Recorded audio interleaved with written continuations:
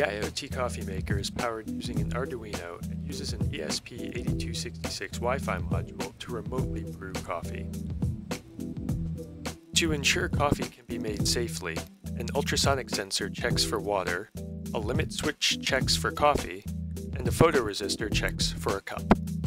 When all three are present, coffee can be requested using the Blynk app. Sugar is added by rotating an auger screw configuration using a 5 volt stepper motor. A signal from the Arduino activates a mechanical relay that turns on the heating element.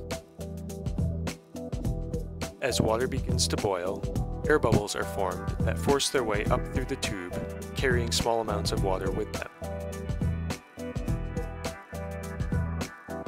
The water is poured over the coffee and allowed to drip into the cup.